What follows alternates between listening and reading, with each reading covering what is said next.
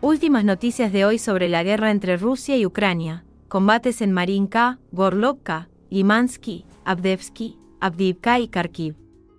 Nuevamente con ustedes trayendo información del frente de batalla. El día de hoy, corresponsales de guerra en el terreno, informan que el asentamiento de Marinka en la República Popular de Donetsk ya está controlado en un 70% por las tropas rusas.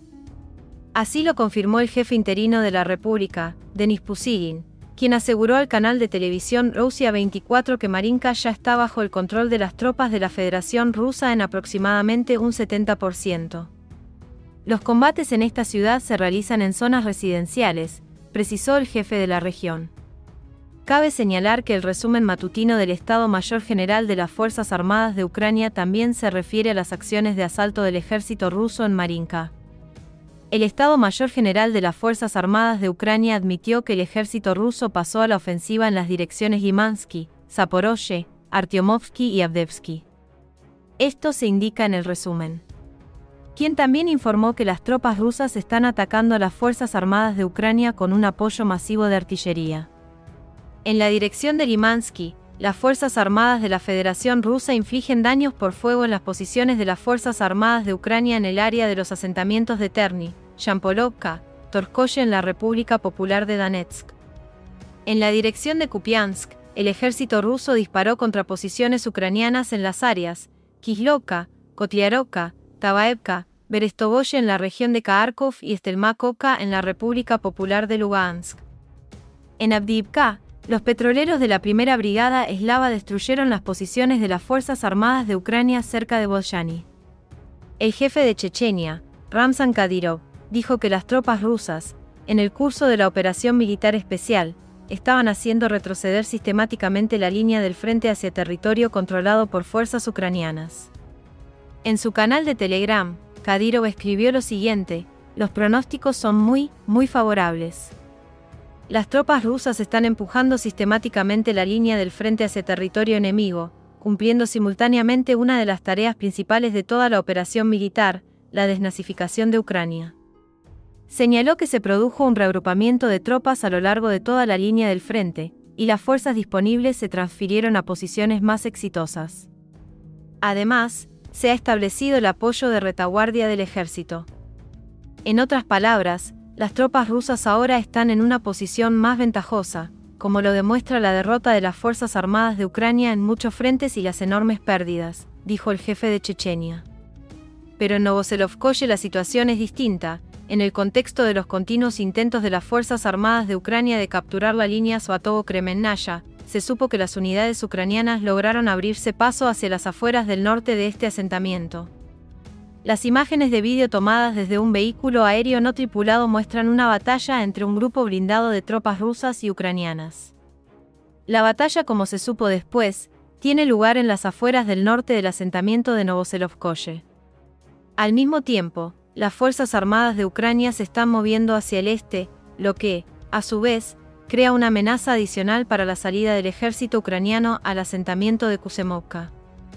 La situación actual en esta dirección es muy difícil, ya que las Fuerzas Armadas de Ucrania están acumulando fuerzas lo suficientemente grandes aquí para llevar a cabo ataques.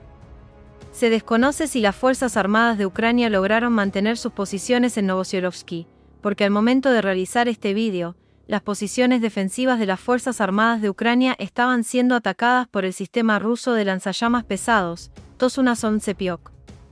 Se sabe también, que las fuerzas ucranianas no solo están reuniendo tropas para otra ofensiva en Kusemovka, también preparan nuevos ataques en la región de Zaporozhye.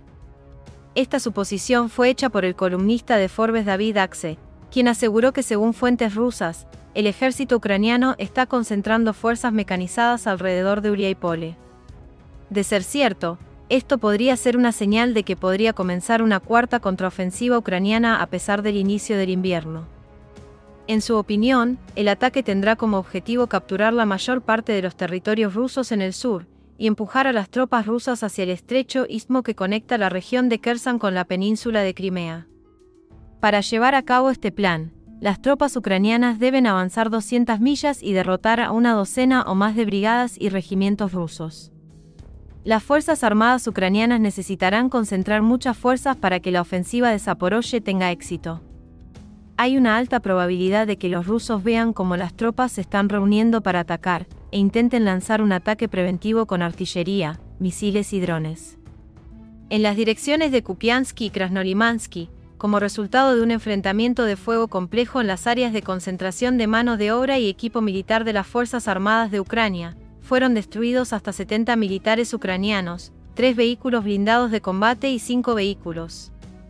En la dirección de Donetsk, las tropas rusas continuaron las operaciones ofensivas.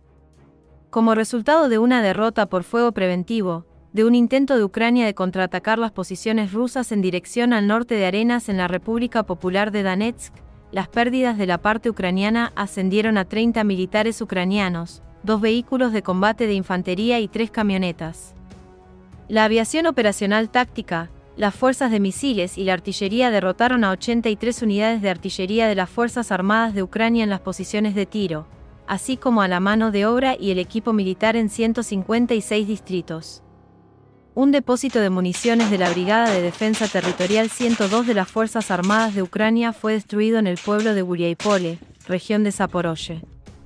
Los sistemas de defensa aérea rusos destruyeron en el aire dos aviones MiG-29 de la Fuerza Aérea Ucraniana en las áreas de Rodinskoye y Pavlovka.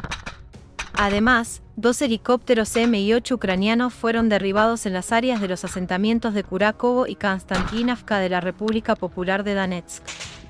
Durante el día, seis vehículos aéreos no tripulados fueron destruidos en las áreas de Gorikovo, Ploschanka, Melovatka, Popasna de la República Popular de Lugansk, Terni de la región de Kharkov y la ciudad de Donetsk. También se interceptaron dos misiles balísticos ucranianos Tochfau y dos cohetes del sistema de lanzamiento múltiple de cohetes y Mars en la zona de Yubileynoye, región de Gerson. Otra mala noticia para Ucrania ha llegado desde Austria, y es que este país no considera posible que Ucrania y Bosnia y Herzegovina se unan a la Unión Europea de manera acelerada. El canciller austriaco, Karl Nehammer, lo anunció este lunes durante una reunión del Comité de Asuntos Europeos del Parlamento austriaco.